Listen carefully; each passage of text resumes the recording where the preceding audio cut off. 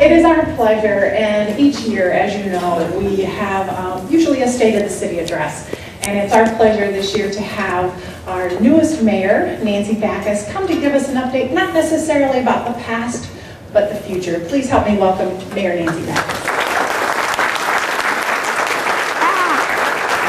Thank you. Thank you, Nancy.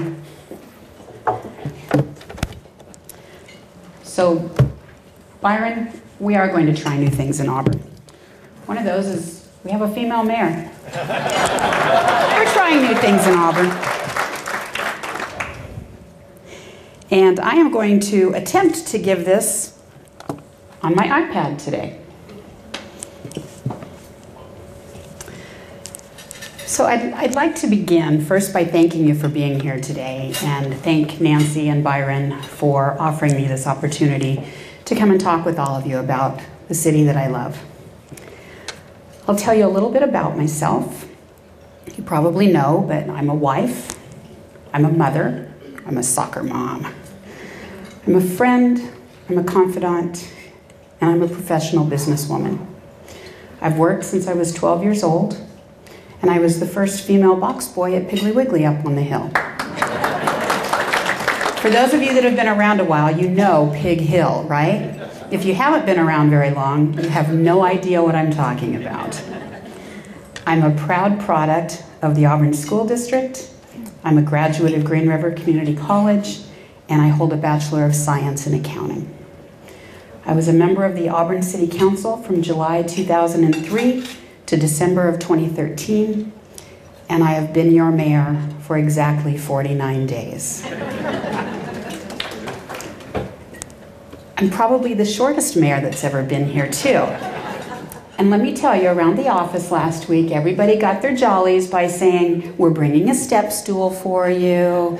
Uh, we'll bring another podium that's lower. All it takes is a pair of heels. I don't like politics, and I don't like being referred to as a politician. In today's climate, that word connotates a person, uh, it's a negative connotation. It's a person who engages in politics for their party's benefit or one's own advantage. I think you probably understand why I don't like to be categorized as that such a person. I think Fiorello, or Henry LaGuardia, New York mayor from 1934 to 1945, stated it best. There is no democratic or republican way of cleaning the streets. Pretty simple concept. Clearly, we just need to get it done. It's not about political parties. Uh, when I worked for Boeing and I was in the benefits department, we did audited financial statements. And so every year we would get the green auditors because nobody wanted to do the finan- or nobody wanted to do the audits for the financial statements for uh, benefit plans. And so I used to joke with them and say, "What does it feel like to be hated by someone before they even know you?" For those of you that are auditors, you probably or CPAs, you probably understand that. And now I kind of feel that same way. You know, there are going to be people around that don't like me because of who I am before they get to know me. That's okay. My goal is to make you understand why I have such a passion for what I'm doing. I have absolutely no plans to go anywhere else after my time as your mayor is complete. Auburn's it for me. It's for me because local government is really the best place to make a positive difference for people. Local government will affect a person's day to day life more than any other level. Thankfully, the elected offices in Auburn are nonpartisan. We don't have a party to answer to. We only have to answer to the people of Auburn. Plain and simple, and that's why I'm here. And that's why your seven city council members do the great work that they do. I am so honored to be able to work with those seven council members. I was one of them until just a month and a half ago, and it's, it can be a difficult transition to go from being on the legislative side to the executive side. But I'll tell you, the council that I get to work with, your council, have been most gracious and they are helping me through this process. And I appreciate each one of you for the gifts that you share with the city and the time that you devote. Much more time than probably most people in this room realize. So thank you, each one of you.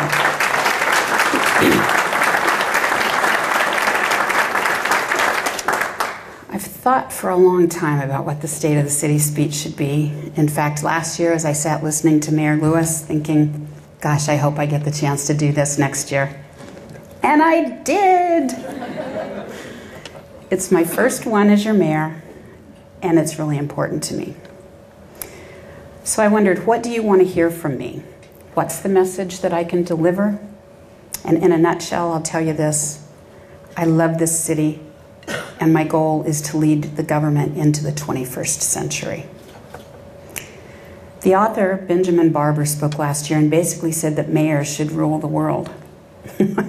I think that's a pretty extreme statement, but uh, what he said did reinforce my belief that local government is the example by which all levels of government should function. But they don't. He said that cities are the political institutions in which cultures are born. Cities are the cradle of democracy. Cities are not only the oldest of institutions, they are the most enduring. They are the places where we are born, grow up, we are educated, we work, marry, pray, play, get old, and in time we die. Cities are home. Barber, Barber also asserted that the nation and states govern from a very different place and oftentimes without us. And I think at times it can certainly feel that way. And you know, even in Auburn, there are times that it could feel like that as well. And that's my message for you today. We're going to change what your local government feels like, and that's why I started to do on January 1. And I'm going to be asking for your help to continue my quest to disrupt the status quo. No longer should our local government do business the way it's always been done. And clearly, we haven't done everything poorly up to this point. That's not what I'm saying. We've done some incredibly great things in our nearly 123 year history. We've built railroads and roads, bridges and buildings, commerce and business, schools and churches. We've created a culture in Auburn that, at its core, is a genuine desire to help each other and lift those in need and we've grown into the 14th largest city by population in a, in a state of 281 cities. I'd say we've done pretty well to this point. But now, it's time to do better so we can all be better, each and every one of us. I'm going to tell you what I hope we can do together, and I want you to hold me accountable for every word as I will hold you accountable to yours. Next year, when I stand here again to speak with you, I think together we can be proud of what we have accomplished. First, let's start with the current state of the city of Auburn. At the moment, we are emerging from an economic downturn. This isn't news to any of you in the room, I know. What might be interesting for you to note is that your city is poised for growth. During my time on the city council, we ensured that we could weather this storm, and we have. We are financially strong. We have qualified and passionate staff. We have a great team, and they're ready. And we have recently reorganized some of our most important customer service functions so that the business we, going, we do going forward is of the highest level. Your police force is continuing to grow. We added three more police officers a little over a week ago, and I intend to continue to find sustainable funding to add even more because you deserve it. My goal, my goal is to grow our workforce with more boots on the ground for the protection of our citizens. The cultural art community is thriving in Auburn.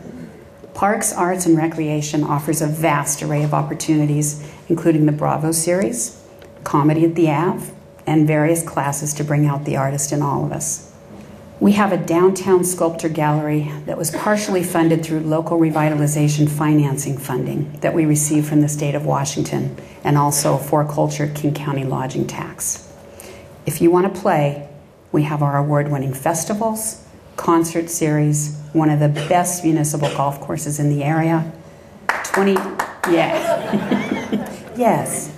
28 developed parks, over 23 miles of trails, almost 247 acres of open space for passive and active recreation, and athletic and recreational activities for all ages. We are home to Emerald Downs, the Outlet Collection, Green River Community College, the White River Amphitheater, a hometown symphony orchestra that is second to none, casinos, and we share our city with the Muckleshoot Indian tribe. Two of my biggest concerns for our city right now are ensuring that the most vulnerable of us are safe, fed, and have a roof over their head, and how to fill the gaps in funding from the decisions above us that have reduced or removed finances from our local budget. First, the underserved. We have a significant number of brothers and sisters in Auburn that are struggling. Some are long term, some have been the victims of a poor economy but regardless of the reason, if there are children without food, elderly without homes, or veterans unable to receive service, it's just flat out unacceptable. As Mayor Lewis has said in the past, it is not a crime to be poor. I don't have all the answers to the problems, but I do know that there are angels in our midst that are answering that call. The Auburn Food Bank, Auburn Youth Resources, Valley Cities, and Pregnancy Aid, to name just a few. Some of the funding for these organizations comes from the commitment of your Auburn City Council, but it's not enough. It's never enough. As I helped with the Firefighter Local 1352 toy drive and Auburn Food Bank's Christmas basket distribution in December, I saw the generous and compassionate nature of those helping to serve but also the look of hope and appreciation in the eyes of those being served. Together, I believe we can and will do more. Secondly, to fill our funding gaps. Since 1996, the City of Auburn budget has seen cumulative losses of about 51 million through legislative and initiative action. $51 million. Some examples of those losses include the streamlined sales tax, repeal of the motor vehicle excise tax, property tax limitations, and the loss of the liquor sales excise tax. Whether it was realized beforehand or not, when the state and federal government change the rules or the voters appro- approve certain initiatives, the result is clearly always the same. Less money means less service. The most visible result in Auburn is our roads and our transportation system. This is the most expensive service that your government provides. This again is a problem for which no one person has a solution. I could stand here and explain the economics of your local government. I can try to make a plea that it's the cost of doing business. There's a lot of things I could say, but it would not solve the problem. It's always about choices. If we spend money on A, then we have to spend less on B. It's all about those choices. And each choice has a benefit and a consequence. My point is that there's no easy answer. And anyone that tells you that is probably going to lie to you about other things as well. So, where are we going? Likely, there really isn't much I've talked about that was news to any of you, I hope. Uh, just because Auburn has a new mayor doesn't mean the challenges that faced the previous administration went away or that the growth Auburn has made as a community will lessen. They're just mine to deal with now. Mayors are known to be problem solvers. We have to be. We can't afford to be paralyzed by a party issue or simply fail to act. If we do, people suffer. Our cities suffer. And from my perspective, that's just simply not an option. I get the luxury of immediate feedback. Whether I want it or not, I get it. Whether it's at the grocery store with my daughter, in fact, one day she bet me on how many people were going to stop me and talk to me about issues in the store. This was probably a week after I took office, and I said, Lucky, nobody's gonna stop me. Come on, we're just in here for a few minutes, get a few things, and we'll head out. Mom, I bet there are five. Well, before we left, four people had approached me, and one of them approached me a second time. So Lucky called that a victory. I'm counting that guy as the fifth. Never forget to listen to your kids. You know, whether it's at that grocery store or I'm at one of Lucky's soccer games, I'm in a restaurant, or with Facebook, oh yeah, there is immediate feedback with Facebook. And I love it. Uh, whether we're moving in the right direction or not, we need to make uh, a change. And it's good to hear when we're making the right decisions, but it's also really important to me when you feel we're moving in the wrong direction so we can correct. Your city guarantees you that we'll provide you with clean drinking water, roads, functional sewer system, public safety, and if we do all those things right, we'll also provide parks and amenities that will make sure that your city feels like home. So, what about the idea of disrupting the status quo? What I mean is that together, you and I are going to change the culture of City Hall. We're going to do away with the old ways of doing business. We're going to change the way we deliver services. Some of the culture change may not be immediately visible because we have some work to do at City Hall to redefine the attitude in our government. The first order of business is to make sure every one of our nearly 400 employees understands what RAA is. This is something that I'm bringing with me from, from my former life at Boeing. RAA responsibility, accountability, and authority. And if we're going to give you the responsibility and we're going to give you the accountability, then we darn well better give you the authority to get the job done. Otherwise, how can we expect you to succeed? We can't.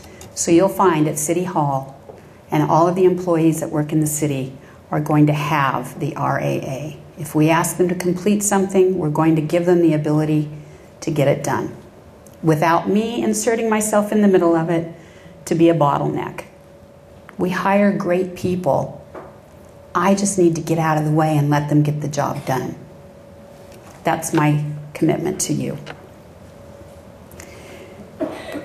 I encourage our team to also have fun at work. Hopefully, uh, proven by some of the Blue Fridays that we had recently. Dana, should I do a shameless Go Seahawks plug right here? I should. Go Seahawks!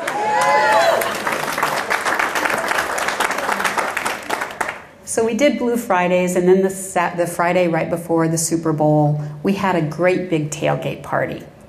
Our firefighters came out to cook hot dogs.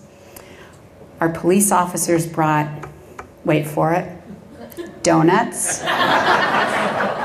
and they also brought chili and the fire department, and thank you, Brent, for allowing this. They brought the ladder truck, and we proudly flew the 12th man flag. Now, that didn't cost us really anything to do, but it got some employees together that maybe didn't know each other. We even had some folks come in on their day off, it was their flex day, but they wanted to be part of something fun that we were doing as a team. And we will continue to do those things because building the team is going to be better ultimately for each and every one of you. And it doesn't mean that we don't take our jobs seriously because we do. But we're with the people we work with more than anyone else in our lives, more waking hours than anywhere else. So if we can't have some fun along the way, then we're doing something wrong. And again, I hold I expect you to hold me to that commitment. I've been meeting with all of our teams to get to know them better and for them to get to know me. I found so many examples of pride and dedication. Last week, I attended one of the staff meetings for the turf team out at the golf course. Each one of them talked about pride in their work. They care about each other and they care about our city. And clearly, they care about that golf course. Kevin Van and his team designed and built the beautiful waterfall that you see from the clubhouse. How many of you have seen that? That was done by our own team. And when it was time for that clubhouse to be built, that same team went out and did a considerable amount of work before the, um, before the builders got out there. That saved our city incredible amounts of money because they cared enough to do that and they wanted to be a part of it. That's what I'm talking about. We have incredible people. There are things we'll deliver to you that will ultimately provide you with the kind of service from your local government, and those are owed to you. First, the City of Auburn will provide more transparency through technology. We've made a start, and I am seeking ways to do more, and I'm listening to the experts. Your IT department has continued to add services to what we call our virtual city hall. There are tools that can help you do business with your city more conveniently and more efficiently for all of us. We're also looking at more ways to help citizens find information. I'm aware that finding data can be very difficult, and we, as your government, should decrease that difficulty as much as we possibly can. Everything needs to be user friendly, and we're striving for that. It's your information, and you deserve to have access to it without bureaucracy. Two, we will increase citizen engagement through non traditional means. We know that technology can be a great equalizer. We can create or utilize more innovative online citizen engagement tools, and we can continue to find ways to increase access to your local government so that we can hear your voice. I believe a quick response is critical, even if it's simply, I'll get back to you, and then we must get back to you. And that's what's to be expected. We recently seated our first Auburn Junior City Council. Your City Council and I are very excited to have an active and imaginative group of young people providing us feedback, and I hope you will all continue to support them. They're a brilliant group. We'll also continue to be out in your neighborhoods.